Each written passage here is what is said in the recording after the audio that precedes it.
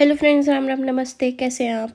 Motivational stories तो आपने बहुत सी सुनी होंगी। द मोस्ट फैसिनेटेड मी जो मैं आज आपके सामने लेके आई हूँ is the elephant rope so the story is a gentleman was walking through an elephant camp and he spotted that the elephant weren't being kept in cages or held by the use of chains all that was holding them back from escaping the camp was a small piece of rope tied to one of their legs.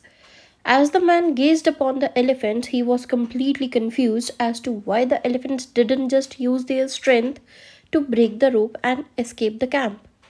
They could have easily done that, but instead, they didn't try to do that at all. Curious and wanting to know the answer, he asked the trainer nearby. The trainer replied, When they were very young and much smaller, we used the same size rope to tie them, and at that age it was enough to hold them. So, as they grew up, they were conditioned to believe that they cannot break away. They believed that the rope can still hold them, so they never tried to break free. The only reason that the elephants weren't breaking free and escaping from the camp was over time. They adopted the belief that it wasn't just possible. So, the moral of the story is no matter how much the world tries to hold you back, always continue with the belief that you want to achieve is possible. Believing you can become successful is the most important step in actually achieving it. So, untie the rope that holding that is holding you to do your work.